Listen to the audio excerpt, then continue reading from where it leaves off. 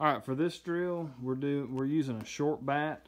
What we're actually doing is taking uh, an older bat that's a little bit shorter and choking up on it if you don't have a short trainer, and uh, putting the ball on the outside part of the plate.